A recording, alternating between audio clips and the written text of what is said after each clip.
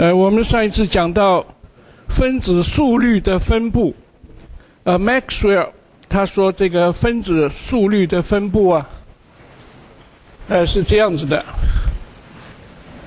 如果分子速率的速率是从 v 到 v 加 dv 之间，它的个数是等于四派 n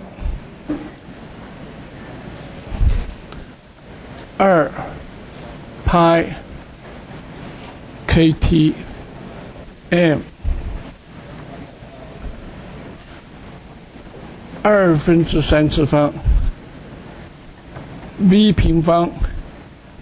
一的负 mv 平方 over 二 kt 啊，好，现在我们就可以求气体的总分子数，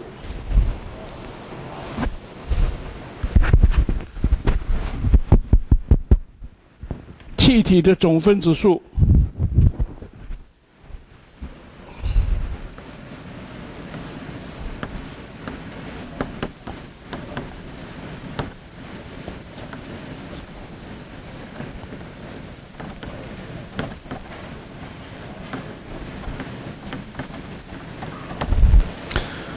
气体的总分子数就是包括所有的速度，啊，从零到无穷大。那么这个数目呢，呃，是这样子的：n 我们这么算法，总数 limit delta v approaches zero sigma 无穷大。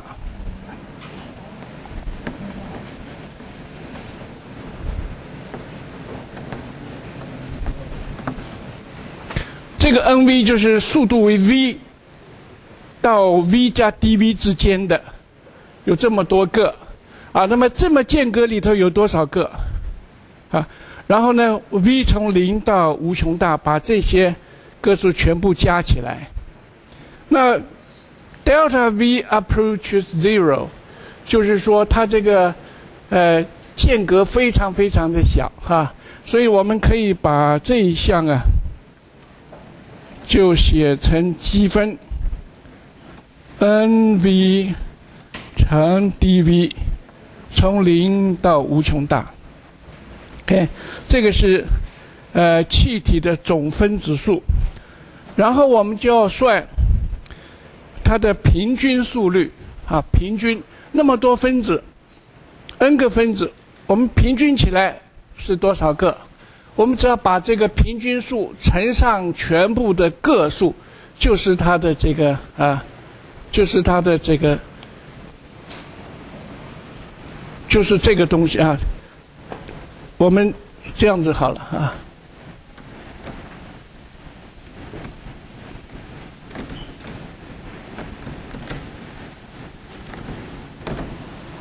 好，v。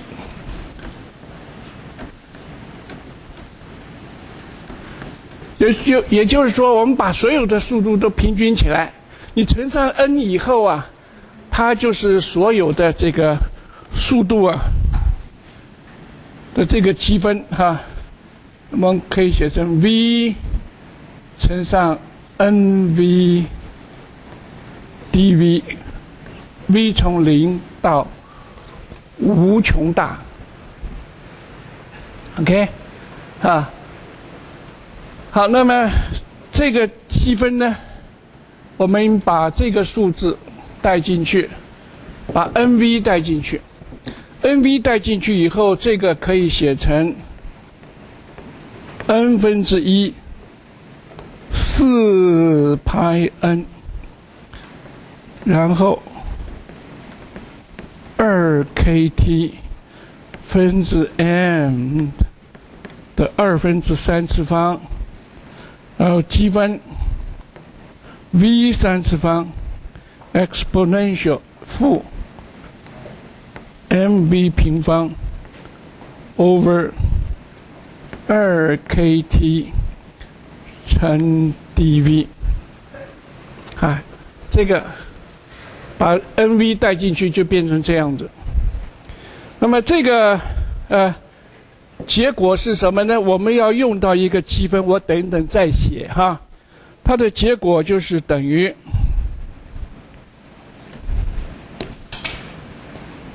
八 kt over pi m，也等于一点六乘上 kt over m。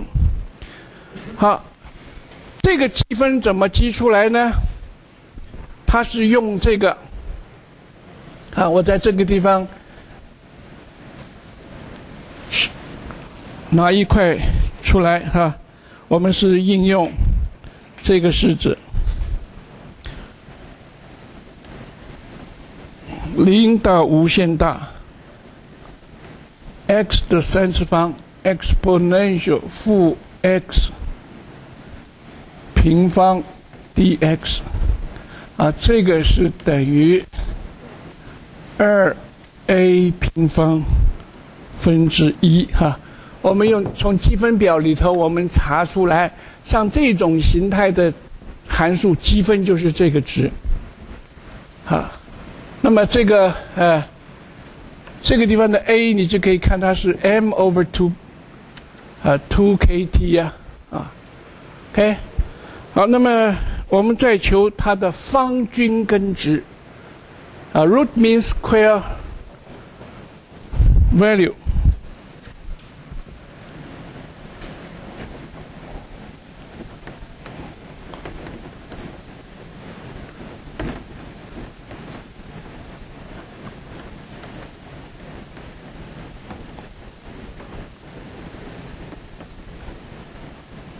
方均根值，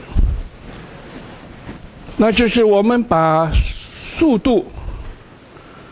平方的平均值哈，速度平方的平均值，把它算出来，然后把这个速度平方的平均值呢，再开平方，这个就叫做速率的方均根值。那我们先算这个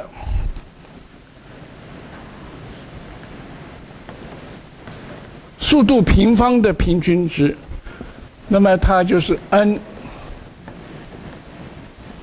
乘上 v 平方乘上 n_v dv from zero to infinity，好，等于这个。好，那么这个值呢，我们把 n_v 带进去，它就是 n 分之一四派 n 二派。ktm 二分之三次方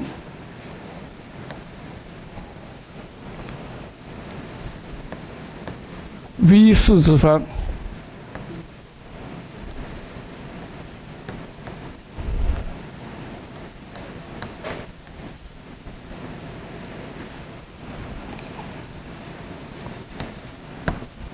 这样的。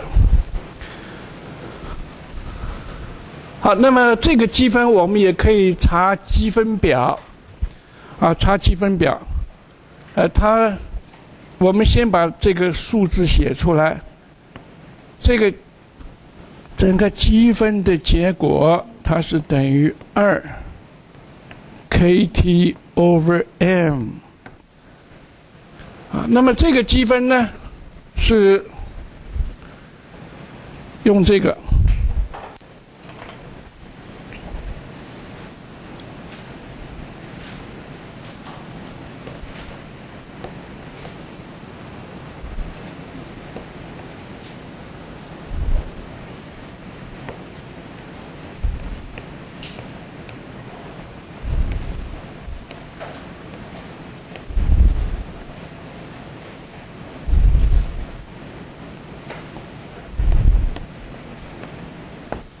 好，用这个积分把这个积出来，OK。好，那么这个是速度平方的平均值，然后我们再把这个啊速度平方这个开根号哈，均方根值，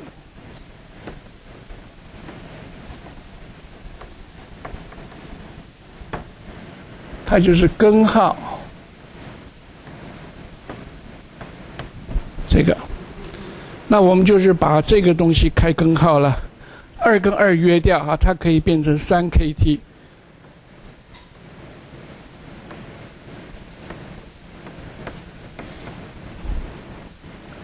over m。好，那么把三开平方开出来就是一点七三 kT。Over m，我们也可以用这个关系，我们也可以用这个关系，因为这个啊，r over n a 是等于 k 嘛哈，所以呢啊，这个 n a 啊，我们可以把它。乘上一个 m，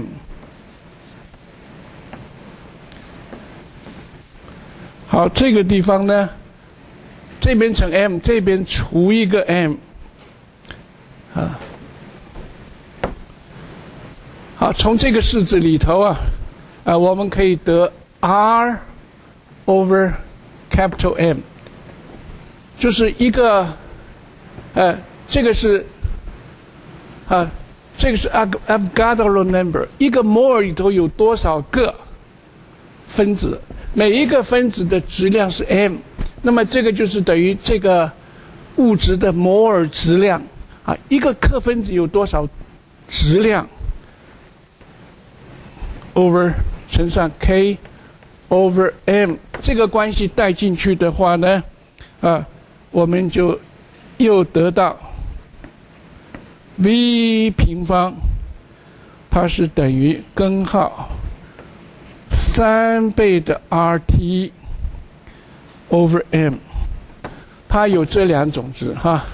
当然，这个你也可以写成一点七三呢，就是这个。OK，好，这个是呃方均根值。再来，我们就看那么多速度，从零到无限大。那么，出现几率最大的速率是什么？哈？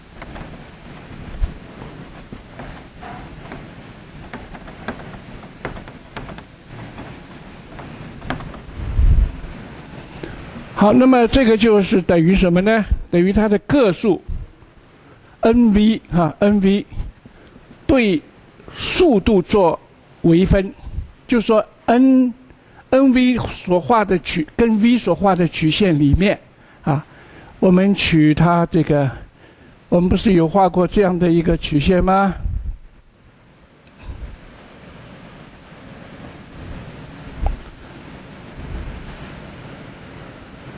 这个是 v 啊，这个是 n v，啊，最大就在这里，最大值就是它的斜率等于零的时候啊，斜率为零的时候。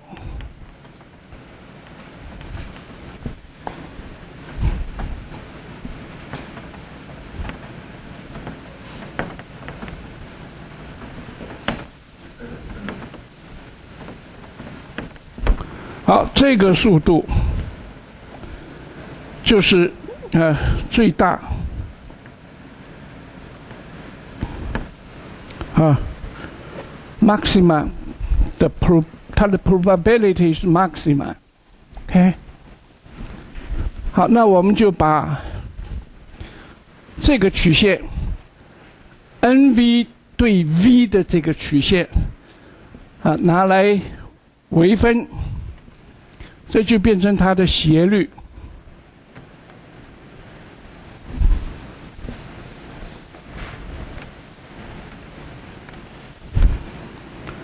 好，这我们把 NV 对 V 来做微分，它是变成这个数目，四派 N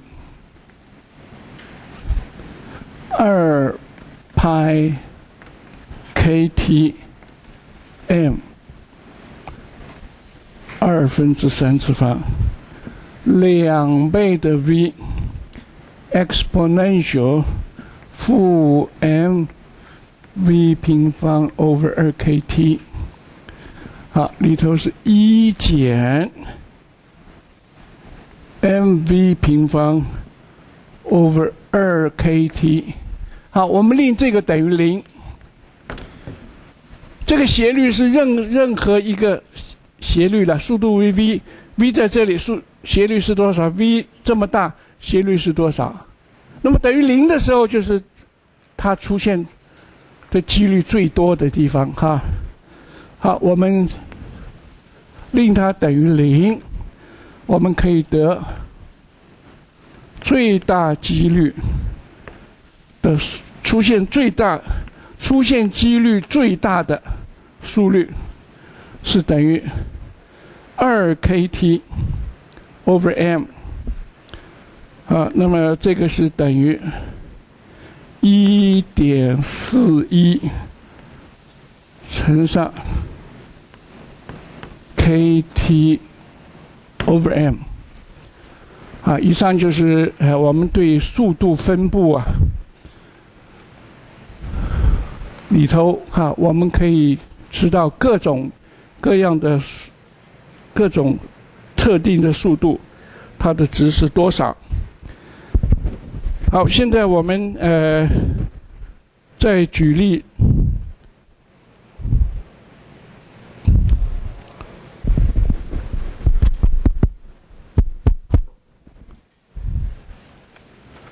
我们举例题哈，Example one。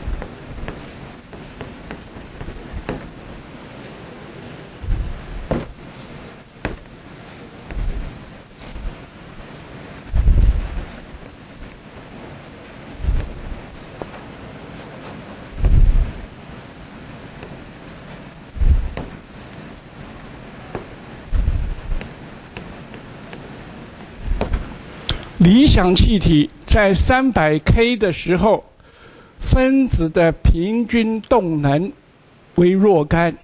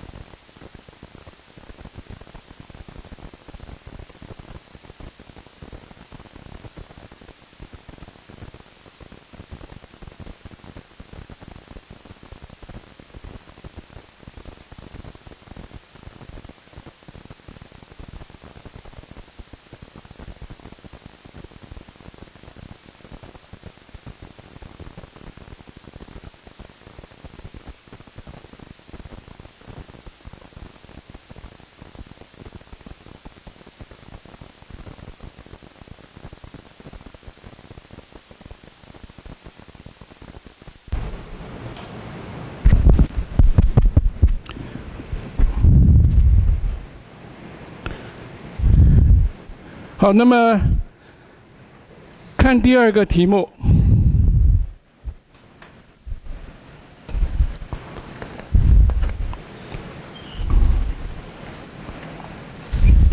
也是指理想气体，我就不写了哈。这是理想气体。好，那么求在三百 K 的时候，总动能是多少？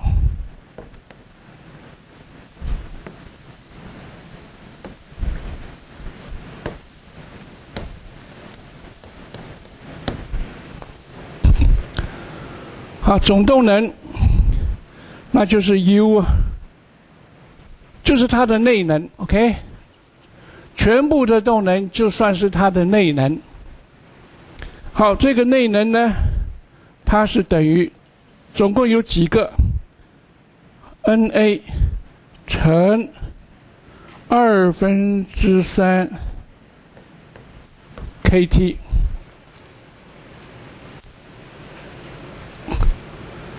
啊，那么我们这就是说一个呃克分子，通常是一个克分子，它的总动能是多少？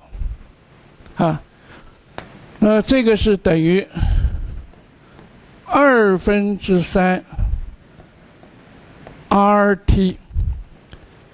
那我们把这些数字带进去，啊，它就是等于。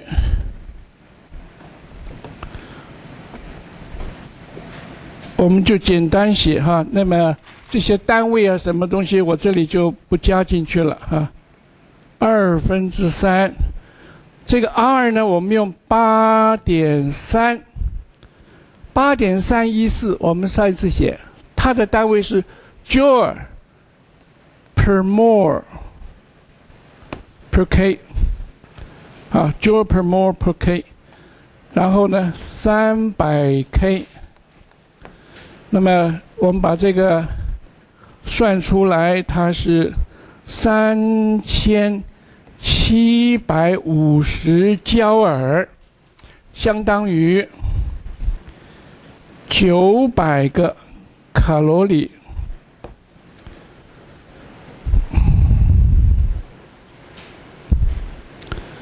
好，现在我们要求三百度 K 的时候。氢分子的方均根速率是若干。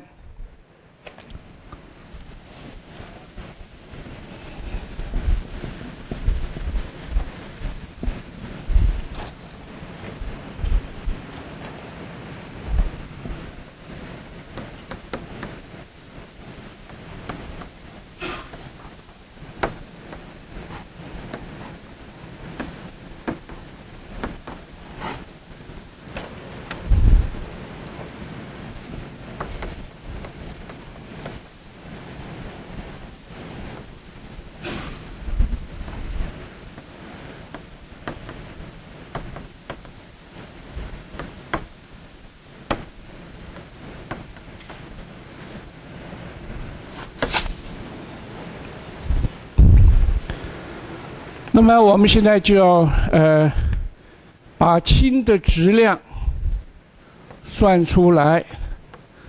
氢分子啊，哈，它是两个原子，啊，那么就等于两个质子了哈，两个质子。那么一点六六乘十的负二十七次方公斤。每一个质子是这么多公斤，因此全部氢分子的质量我们就可以算是三点三二乘十的负二十七次方公斤啊，公斤好，那我们就可以带这个 v root mean square value，我们刚刚算出来的，它是等于。三 kT over m 啊，或者呢啊，我们把这个数字带进去，三，这个是一点三八乘十的负二十三次方，然后三百 k，好，这个就是带 m 就是带三点三二乘十的负二十七次方，这个是等于一九三四个 meter per second，啊，我们也可以啊。用这个，用另外一个哈算，我擦掉了。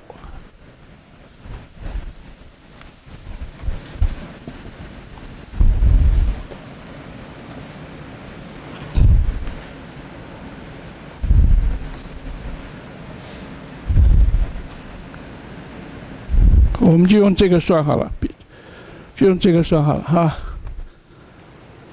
好，那么再来就是看三百 K 的时候，汞蒸气分子的方均根值是若干。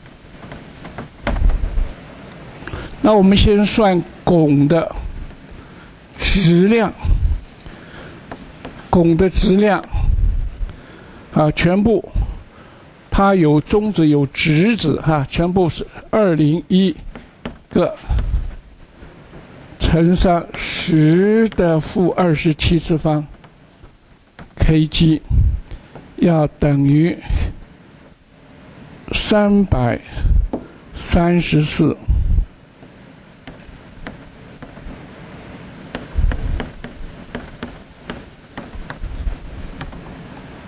好，它的均方根速率，root mean square value，那我们就是用啊三 kT over m 带进去，三乘上八点三一。三百 K over 二乘十的负八次方个，每一个 more 有这么多公斤的哈，质量啊，这个是 more 有这么多公斤了。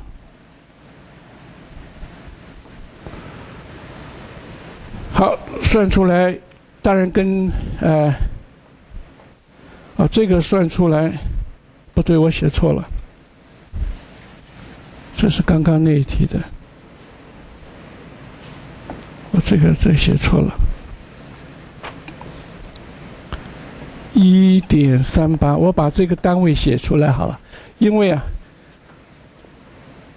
这个 R 我说过它有三个，不是不是，我把这个 K 哈写出来好了，负二十三次方。三百哈，K，K，啊，一样，看错了，三三四乘十的负二十七次方，这也是一个 more 有这么多公斤哈。好，那么是一百九十三个 meter per second。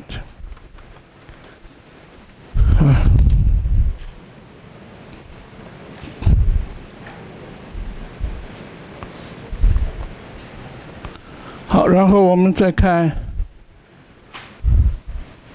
一个例题。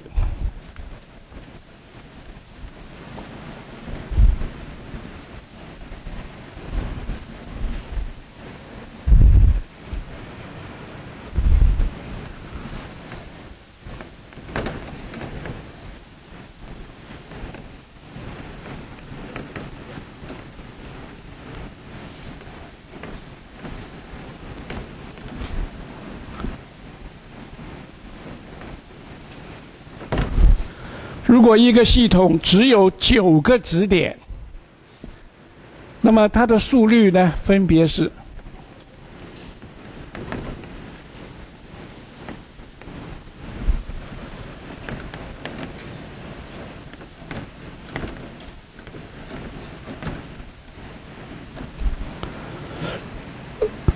五、八、十二。十二、十二、十四、十四、十七即二十个 meter per second 啊。那么现在我们要求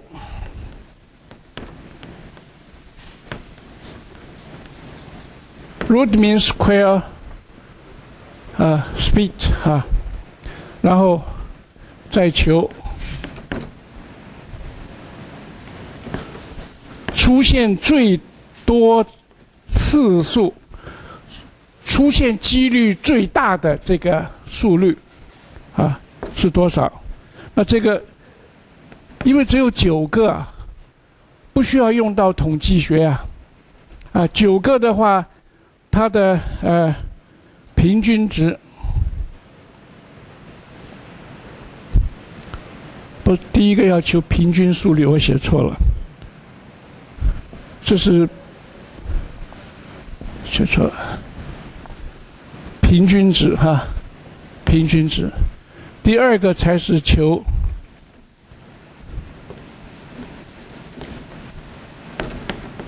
C 是求那个好平均。平均速率就是这些速率全部加起来被九项来除嘛，啊，它就是五加八加十二加十二加十二加十四加十四加十七加二十。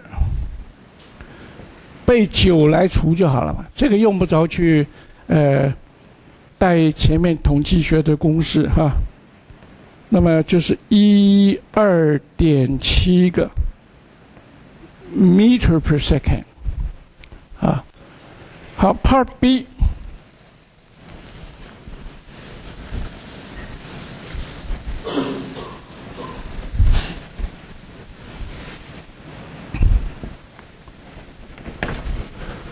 Part B, uh, root mean square value of speed，那就是 v 平方的平均值。那我们就把这些都平方起来啊，啊，五的平方加上八的平方加十二的平方加十二的平方加十二的平方加。十四的平方加十四的平方加十七的平方加二十的平方被九来除啊，那这个就一百七十八个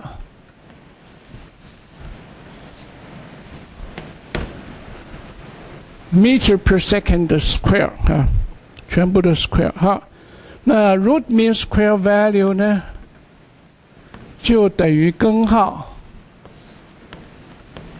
这个，好，那它就等于，就把这个开根号就是了，十三点三个 meter per second，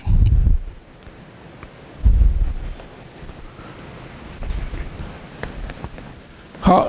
出现几率最大的速率，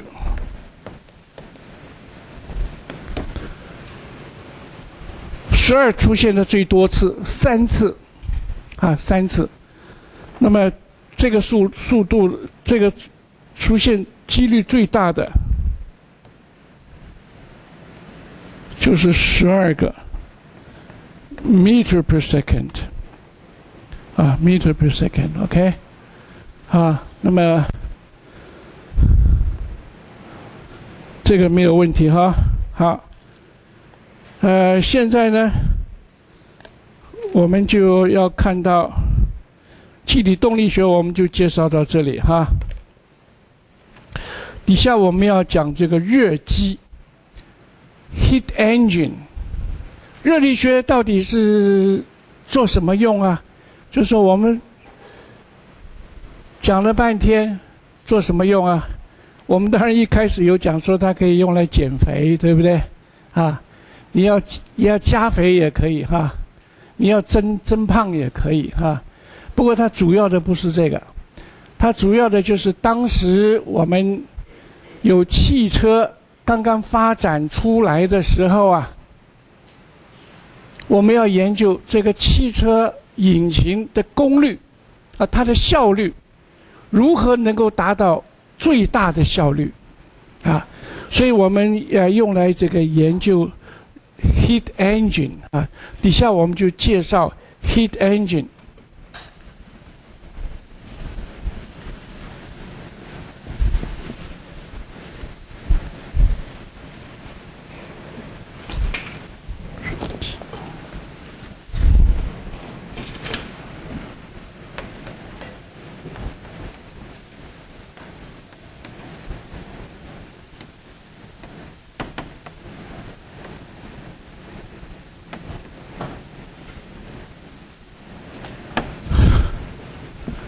Heat engine，heat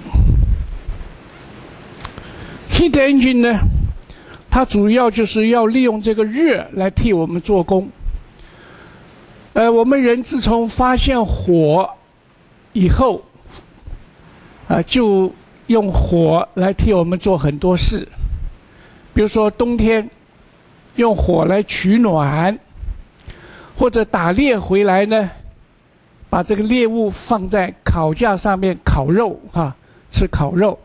那么现在我们煮开水，我们用锅子来炒菜，这都是用热啊。啊，那么我们希望这个，我们有一个交通工具是用热来帮我们推动。那你总不能把这个交通工具放在火炉上面烤，对不对？啊，那么怎么样才能够使热来替我们呃做工，推动我们的一个交通工具呢？啊，那就是你要想办法把热源里头的热能啊，把它转变成为机械能。热能是一种。不规则的能量啊，机械能则是规则的，它有一定的方向啊。那么我们要把这个凌乱的热能呐里头取一部分出来变成机械能。我们当然希望它通通变成机械能了，但是我们发现这个不可能啊，凌乱的东西不可能把它变成全部变成有次序。所以我们就是拿一部分的热能呢，把它转换成为机械能，这就是热机的用处。啊，你你就可能要写下来哦，哈！我讲话你就不要光听啊，听了就会睡着啊，啊！把它写下来。热机就是把热能啊从热源里头取出热能，然后把一部分的热能呢。转变成为机械能。好，那么我们这个，呃，我们看它做工哈。当然，你这个机器啊，必须能够一再的用哈，就说它能够呃往复的使用，就好像我们的心脏啊。我们全部的这个这个血液循环都靠心脏在 pump 哈，那么它从我们生下来一直到我们安息的时候啊，心脏都在做工，把这个血液啊，在使它循环哈，在推进。那么我们做一部机器呢，也是希望啊，它能够替我们做工。这个工呢，也是一个循环一个循环的哈。那么我们现在讲这个机械，它的循环是一个什么循环呢？叫做循，啊，它的过程是循环过程。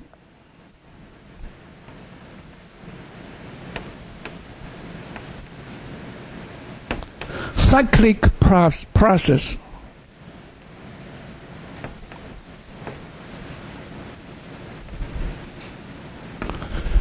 好，比如说从 A 点开始，好，那么它做一个循环，又要回到 A 点，这样才可以哈，它才可以一再重复的这么做。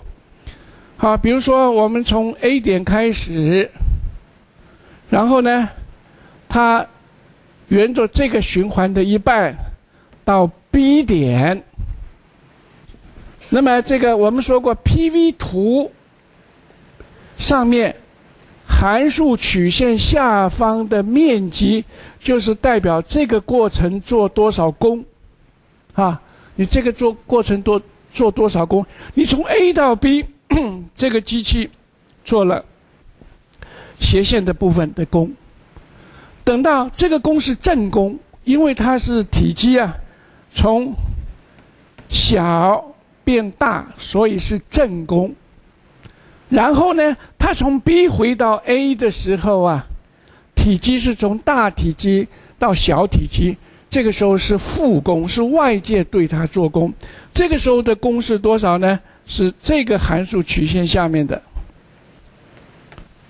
啊，正功。扣掉负功，那么剩下来的就是进攻 network 啊，network，这就是 cyclic process 哈。你这个引擎呢，呃，它有半个周期是对外输出功，还有半个周期叫外界对内输入功啊。当然，这个输出的比输入的大，那么它就有进攻。输出了哈，好，那么我们在热力学第一定律里面呢，就是 U two 减 U one，然后等于 Q 减 W，因为它是 cyclic process，从 A 又回到 B，那么整个的这个内能的改变是零啊，因此呢，啊，它就是。它做的功由哪里供应呢？就是热来供应啊。这个机器能够做工啊，它就是要有能，要有热能来供应。好，这个就是呃循环过程啊。那现在我们举一个例子：汽油发动机哈，汽油引擎，OK。你们骑摩托车骑的那么爽，我问你，摩托车它是怎么动的？啊，汽车是怎么动的？汽车里头的汽油引擎是怎么怎么运动的？怎么运作的？好，那现在我们来做一个介绍。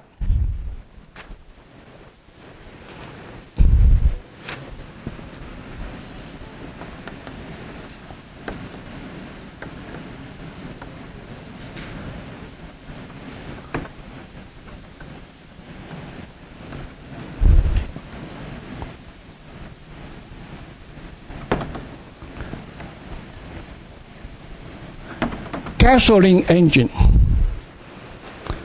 呃，汽车的心脏就是它的引擎。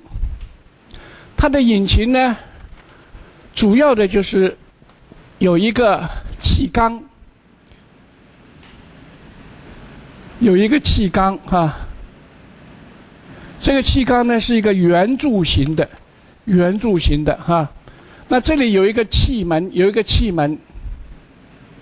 啊，气门，这是活塞。好，那么当这个呃一开始的时候，我们把这个活塞啊压到底，压到最底哈，这个体积最小。然后呢，让这个活塞往下扩张，啊，往下扩张，往下扩张的时候啊，它的这个气门就打开了。好，那就有汽油跟空气混合的汽油的蒸汽油的气体哈。汽油是一体的，但是我们经过化油器啊，就把它变成一粒一粒的啊油滴啊油滴状，然后呢，跟空气一起跑，一起把它吸收进来哈，一起吸。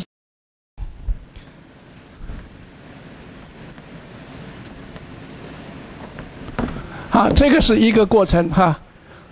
拉拉过来，好，这里头就是汽油跟空气的混合气体，那这个叫做进气冲程。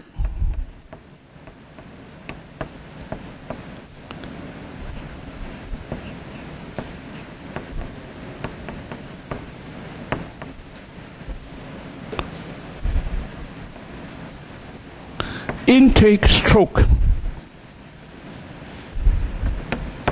叫 intake stroke，进气。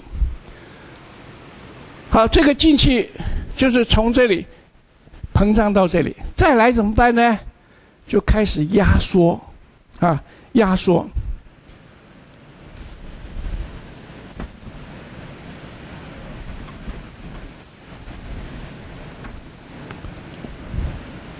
就开始压缩，哈，这个压缩回去。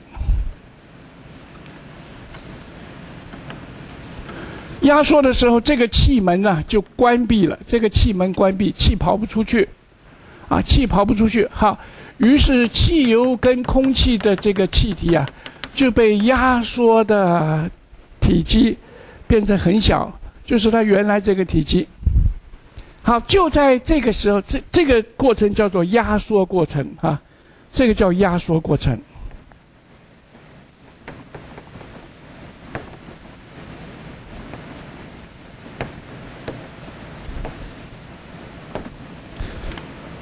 叫做 compression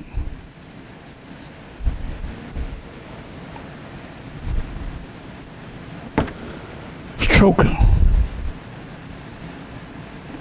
压缩，好，压缩到最小体积的时候啊，这个里面的有一个装置，就是点火。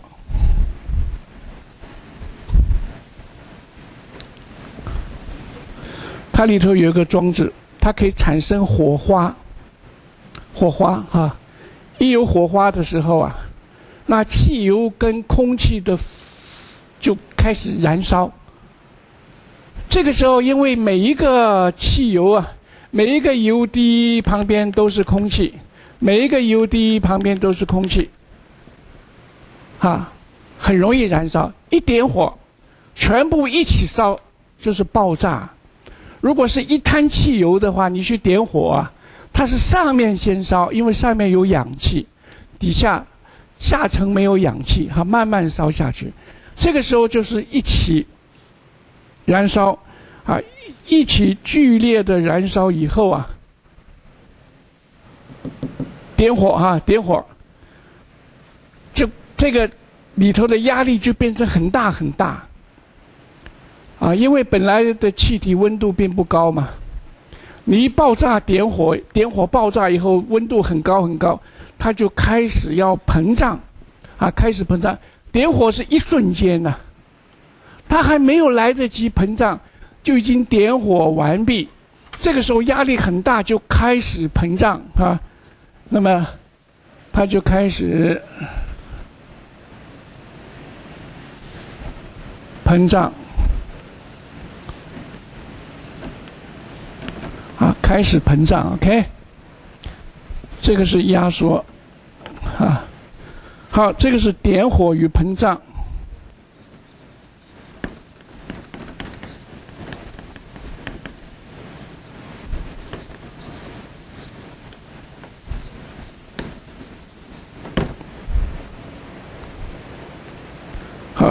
这个我们称它叫做 ignition。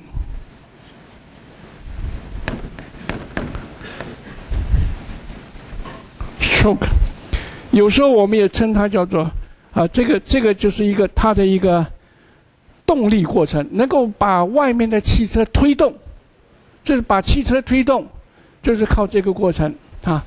它这个 piston 往下推的时候啊，它就带动里头的一个曲柄轴啊，曲柄轴再带动齿轮，然后就把整个汽车或者摩托车起呃带动。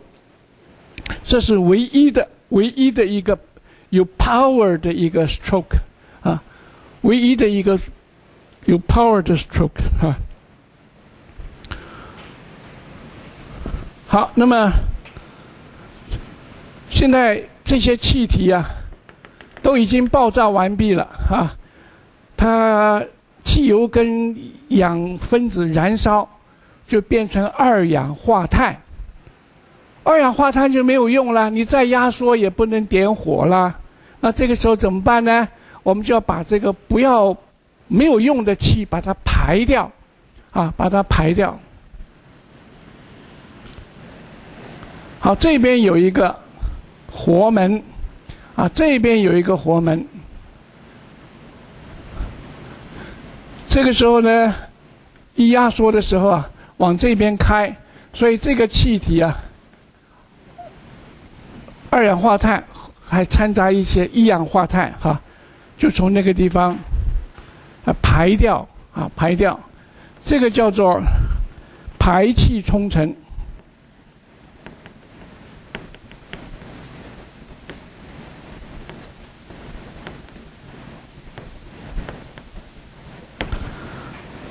叫做 exhaustion，exhaustion。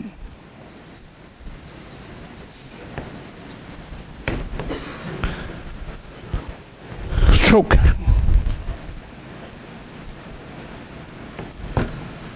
好，气体排出去以后呢，它再往下吸，就是回到这个过程。再吸的时候，就这边的气门开了，那边的气门关了，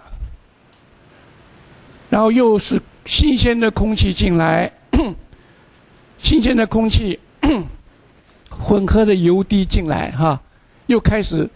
压缩又点火又开始又排气，就是这就是它的循环，主要就是这四个哈：进气冲程、压缩冲程、啊膨胀哈、ignition stroke 或者是叫做 expansion stroke 哈，这也是唯一的一个 power stroke 动力的冲程，然后就是排气冲程。OK，好，这是呃，你看它的运作就是一个。cyclic process 就是一个循环过程。好，那么我们现在呢，呃，它就是用什么？用汽油里面的内能 （internal energy） 燃烧以后，爆炸以后转变成为热能，热能让这个空气膨胀，而推动这个 piston，推动活塞。而得到动力，所以它是把这个热能里头产生的热，热能呢，拿出一部分来产生动力，那还剩下还有一部分就排掉了，啊，就排掉了。好，那么我们现在就是用一个热机的热流图来表示它工作的这些啊，从热里头。拿出一部分来做功，然后又排出一部分的热量，啊，这样的一个工作的流程，哈。我们现在看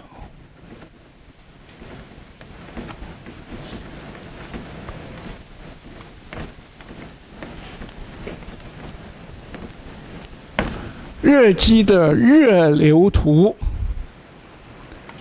好，一部热机呢，它就是我们画这样子，这个是代表一个温度很高的一个热储储藏热量的地方，哈。那么我们的机器就要从这里把热量吸收。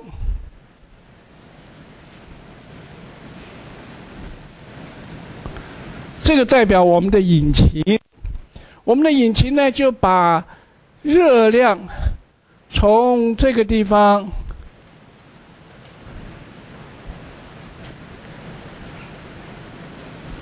吸进来，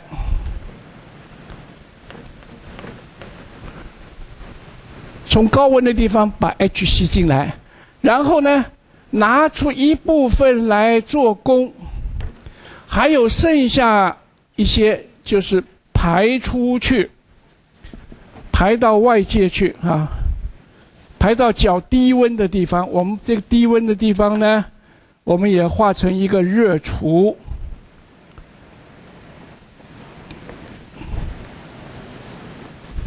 它这个 temperature 比较低，我们就用 T C 来表示，这就是 cool temperature。那么就有热量排到这个地方来。比如说，这个热厨现在就是汽油爆炸啊，在气缸里头爆炸这个这个过程里头的热啊，你把它拿一部分来做功推动汽车，然后一部分呢从这个地方排出去啊，排出去，OK，好，那么这就是热机的热流图。那么这个热机呢，我们要讲究它的效率。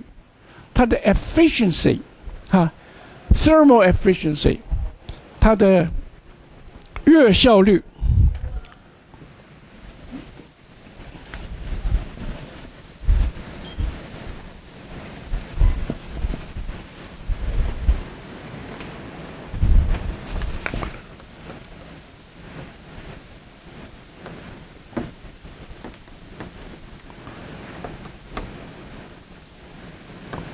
热效率，好，那么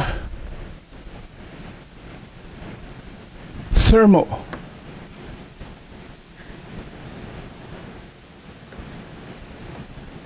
efficiency，那有的书上是用 eta 来表示，有的书上就是用一哈，用这个字来表示，我们都写一下。呃，它的定义就是。你有没有效率？它的定义是这样的。好，你从这个系统里头吸收的热量，总热量是多少？我们用绝对值哈，吸收进来的总热量是多少？然后你对外界做多少功？啊，我们也都用都用绝对值，比较比较不会出错。这就是它的定义。好像你这个一天，啊，吃五碗饭。假如大家一天都吃五碗饭，中午晚上各吃两碗，早上吃一碗。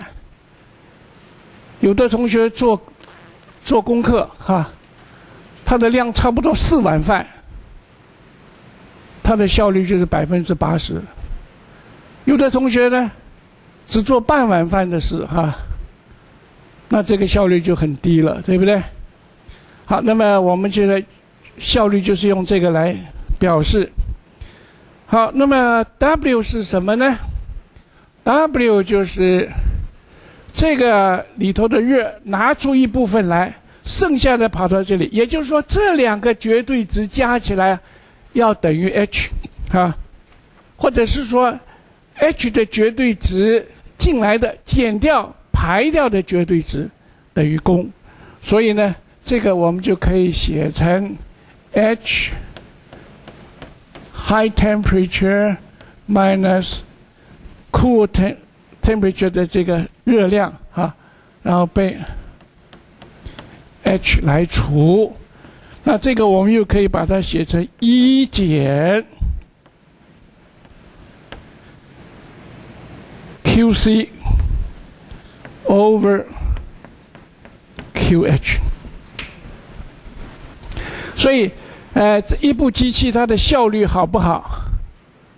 效率是多少？你只要算出它的吸收的热量是多少，排出的热量是多少，啊，就可以马马虎虎算出它的效率来。OK，好，现在我们拿一个呃汽油引擎来看，我们怎么算它的效率？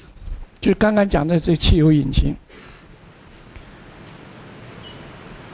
你怎么算它的热啊？你要算这两样啊？你怎么算它的热啊？怎么算呢？你不能用量的，量的不准呐，也无从量起啊。好，那么人是很本事很大哈，他就发明了这个热力学，由 PV 图上面呢，压力跟 volume 变化的图上面，把这四个过程。把它大约的画成四个过程啊，四个变化的过程啊。比如说，我们现在来看。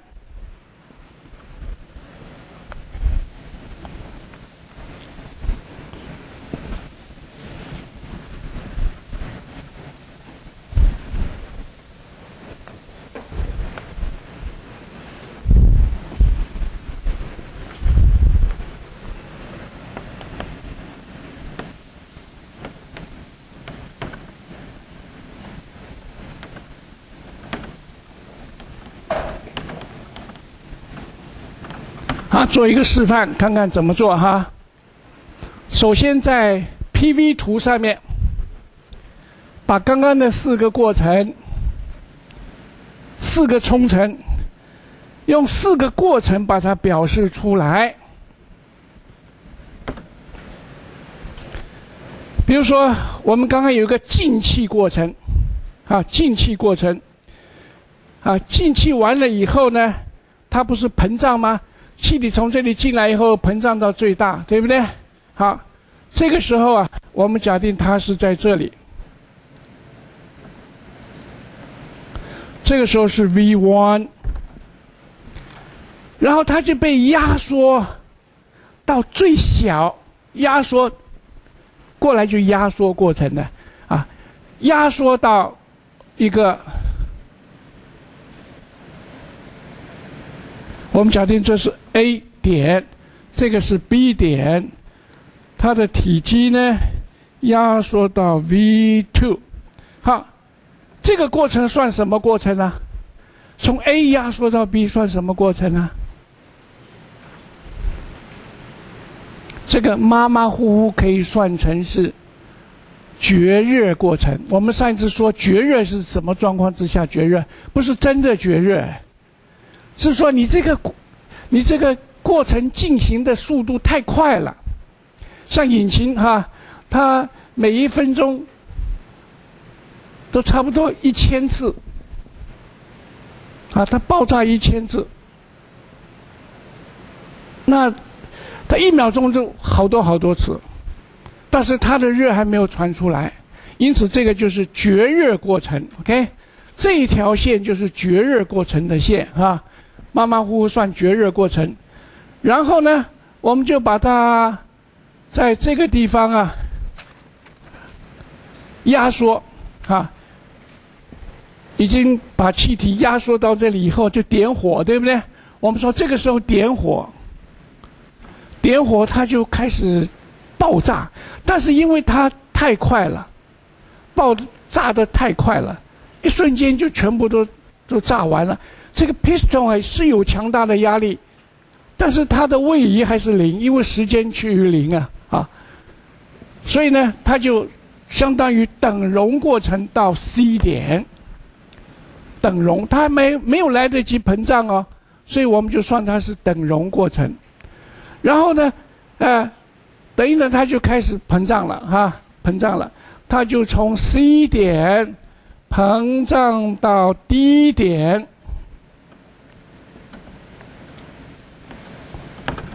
膨胀过程呢？点火以后它膨胀啊，也是很快，所以我们也马马虎虎算它是绝热过程。好，到这种点火以后，它就排气，排气，然后又把热量吸进来，哈，排气又吸热量，就回到最初这个体积啊，啊，所以这个时候我们也马马虎虎当做它啊，本来这里都是废气啊，它排掉啊，然后又吸回来新鲜的空气跟汽油啊，所以这个体积算是哎一样的体积，所以它这个是由两个绝热过程。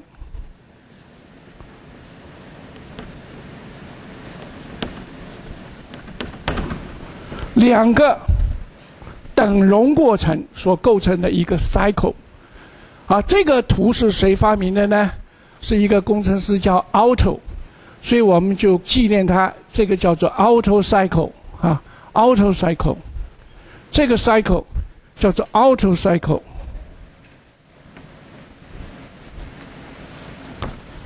cycle，啊，好，那么现在我们来算一算哈。它的热效率，热效率首先就要算它的 QC 跟 QH。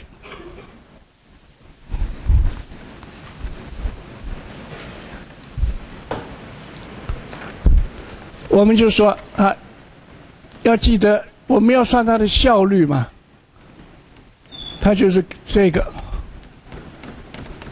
你现在要想办法把 QC 跟 QH 求出来。好，Q、QH 跟 QC 呢？我们可以从这两个过程里头算出来，因为这是绝热过程，没有热的进出啊，只有这个过程有热的进出。QH，这个是 QC，所以 QH 跟 QC 啊，要从 BC 跟 AD 两个过程里面来求出来啊。好，首先我们就看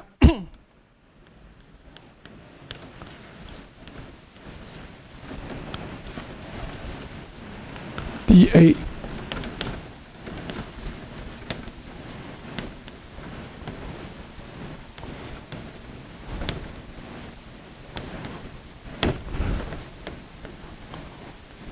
求热，比如说。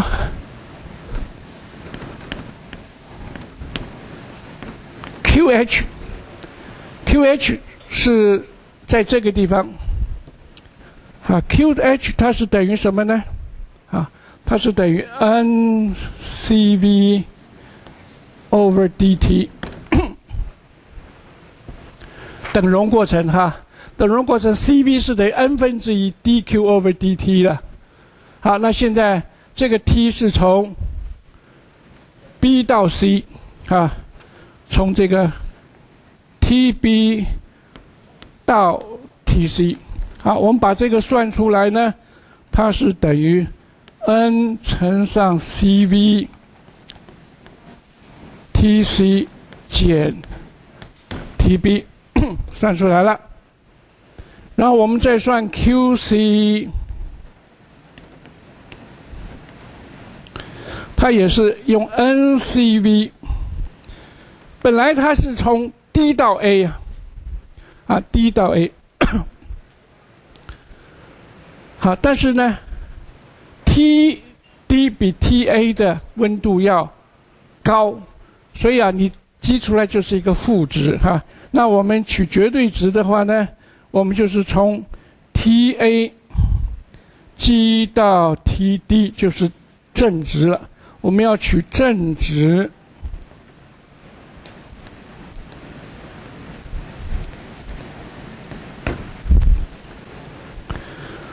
好，那么我们从这里头就可以先把 efficiency 哈，把这个代入。第一式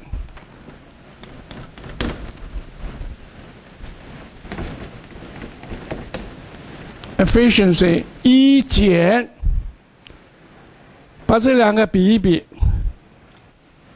它却是一减。T D 减 T A，然后 T C 减 T B，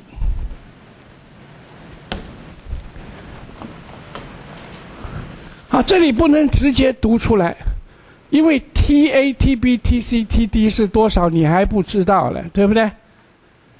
那你都要把 T A T B T C T D 的关系求出来，所以我们还要继续努力哈。好，现在怎么求这个温度的之间的关系呢？我们看，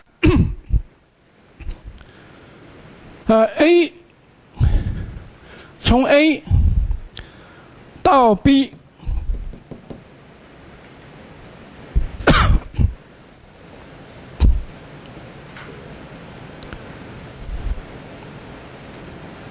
啊，P A V A。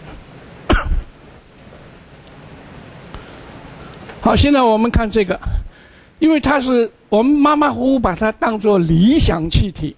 啊，理想气体的话，P A V one 就是 P A V A 了，P A V A V A 就等于 V one，它是等于 N R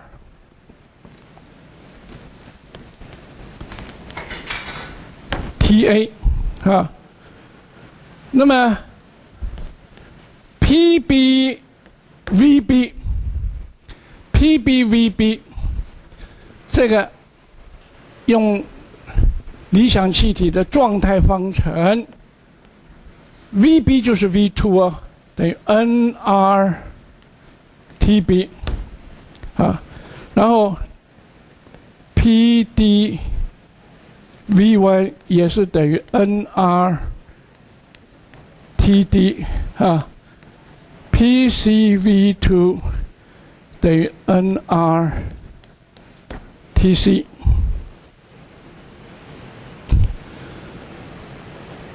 好，那现在呃，我们呢再来看从 A 到 B，A 到 B 是绝热过程，绝热哈，绝热过程，绝热过程呢？它有 Pv 乘上伽马次方等于 constant 的，PaV1 的伽马次方要等于 PbV2 的伽马次方，啊，OK，好，那你现在把这个 PaV1 啊，PaV1，其实 PaV1 它就等于 Pb。V two 了啊，这两个约掉以后啊，它就变成啊，P B V two 跟它约到一个 P A V one 约到一个啊，它其实就变成这个，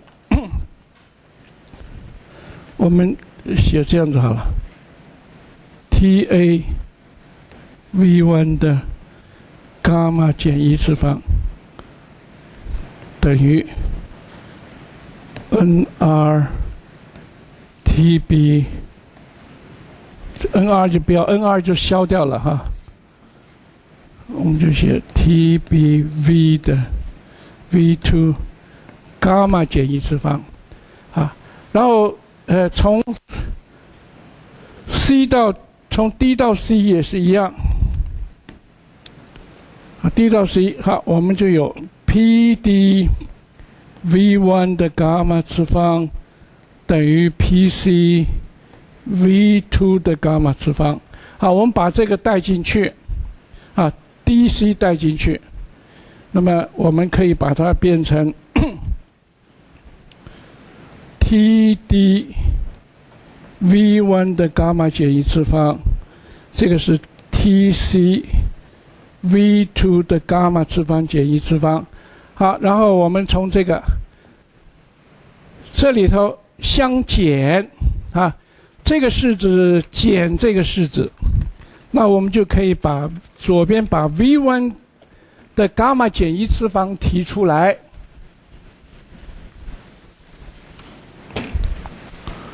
所以这个就变成啊，Td 减 Ta。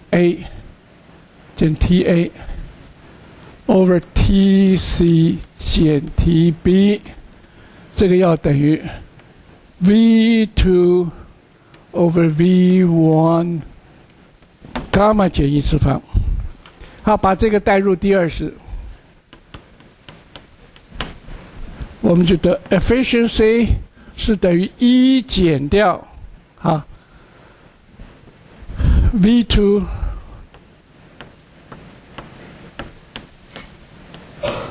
好，我们通常是写成这样子的形状。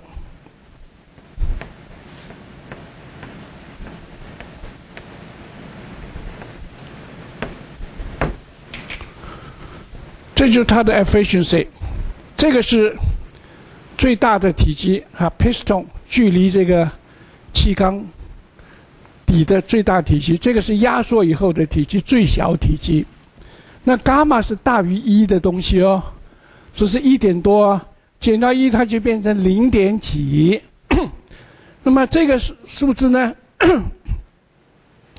啊，如果这个数数字越大，就 v one 比 v two 越大，那么这个就越小。这个分数越小，效率就越大。啊，所以这个我们 v one 比上 v two 啊，我们称它叫做压缩比，哈，压缩比，OK。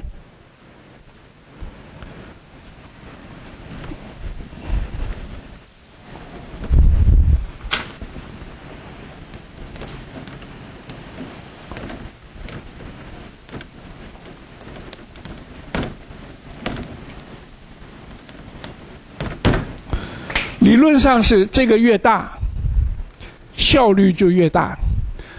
通常一般汽油引擎都是十比一了哈，就膨胀以后的体积啊，是压缩的体积的十倍。那你说这个比值越大，它效率越高，那我可不可以把这个比值提高？比如说二十分之一。三十分之一，那不更好吗？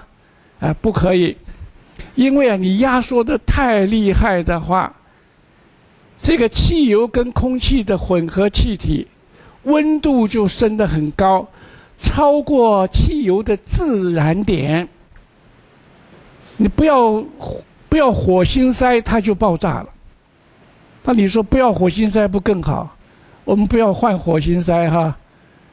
它自己就会爆炸。现在有有的摩托车火星塞脏了还要换的，对不对？我告诉你，那个时候，它压缩自然爆炸是怎么样的？它不会说刚刚好压缩到底的时候再爆炸。如果能够这么刚刚好，那就好了。它可能你压缩到还没有到底，它就爆炸。就好像你荡秋千。你要让你的朋友荡得越高越好，你必须要怎么样？等他到最高点的时候再轻轻推一把，啊，你不能等到它到最低点的时候啊，啊，或者这最低点再过来速度正快的时候猛然一推，那个时候他不会加速，他只是觉得你这个推是阻力哈，会会阻碍它震荡，所以。你们有时候听到，呃，路上面有摩托车啊，在跑，有的摩托车会怎么样？会棒棒响啊，哈，好像放鞭炮一样，放炮。我们说那个叫放炮。放炮就是它里头脏掉了，脏掉以后，它那个摩擦力太大，啊，还没有压缩到底，还没有等火星塞点火，它就自己点火，哈，你在。你听的是“嘣”的一声，那坐在上面的人是感觉的怎么样呢？哇，正跑得快的时候，嘣一下，他会顿一下，哈，顿一下。所以也不能够太，不能够太太低哈，压缩比。那么一般我们汽油引擎啊，它的效率啊，都是低于百分之六十。低于百分之六十，这已经已经很宽松的算了哈。那实际上还不到百分之六十啊。那么还有就是柴油引擎，柴油引擎比较不一样。柴油引擎它有一个过程呢，压缩过程。压缩到底的时候，它没有火星塞，它没有火星塞，所以它可以十五比一啊，压缩到这个里头的空气，就都只有空气而已哦，啊，已经变成很热很热，超过柴油的自燃点。这个时候再从外界把柴油喷进来，啊，喷进来的时候啊，因为它已经超过自燃点了，啊，它就一边喷一边一边爆炸，啊，那么柴油这是柴油引擎，啊，那我们不不去算它，只是告诉各位，柴油引擎它仅仅是压缩空气，等压缩到最大的压力的时候。才把柴油喷进去啊！好，以上介绍的是热机啊，热机。呃，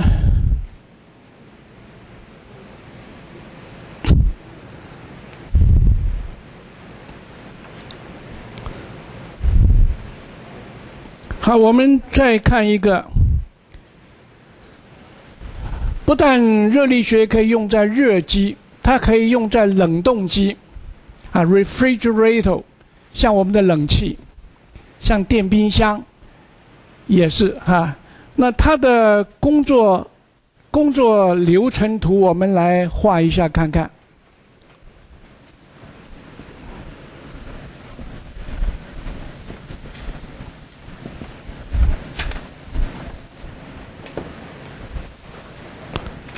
我介绍一下这个，我们就发考卷哈。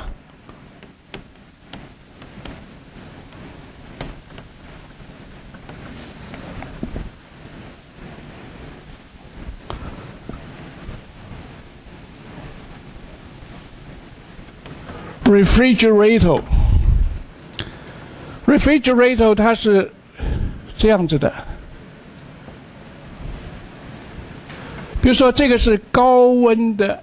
热厨就是高温的地方，这个地方呢，比如说是我们的室内或者是电冰箱，啊，它要保持在低温。好，现在我们就要把热量从低温往高温的地方吸收，哈，从低温的地方吸收热量到高温的地方排出去。于是呢，我们的这个。就要有一部机器来帮我们做工。好，这部机器呢，它是这样子，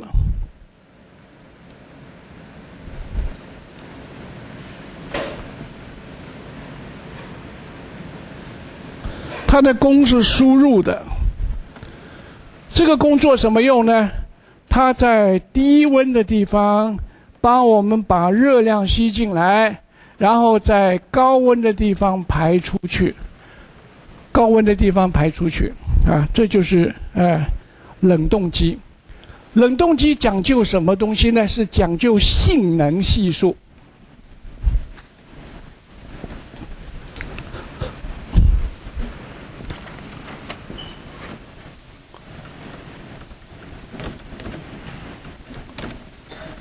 性能系数。叫 coefficient of performance。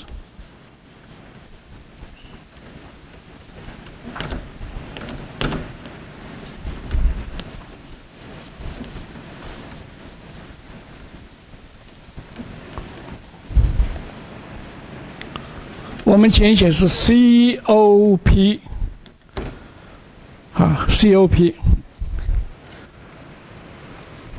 它的呃。COP 啊有两种，一个就是我们看它在热的一端，它做工能够把多少温度送到热的地方去。比如说我们冬天到了，要吹暖气哈，暖气，那么这个时候它的 COP 呢定义就是。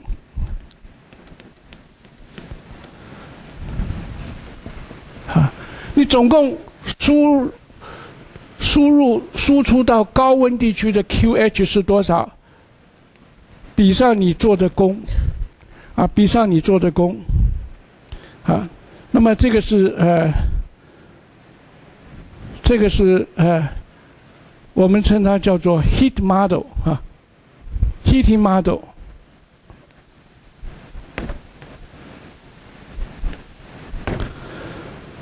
好，那么再来就是冷气了哈，冷气，冷气是说你能够在比较冷的这一端抽多少的热。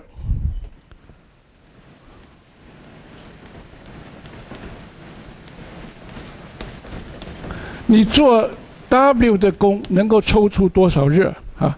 这个是 cooling model。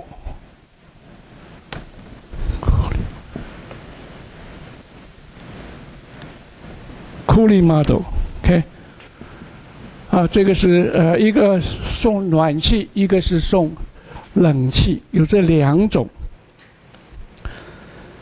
那么你看这两两种机器，我们都用的。非常多哈，汽车满街跑，你看看我们走在这个你们 F 栋的外面，看看在墙上都是冷气啊，啊，今天少不了冷气。所以这个西洋人呢，他的科学是有他的好处。你看他能够把科学用来啊，他就讲究什么叫热机。什么叫冷冻机？他能够发明这个，那我们中国人就不一样啊。我们中国人讲究的是什么麻油鸡啊、三杯鸡啊啊，讲究这些吃的。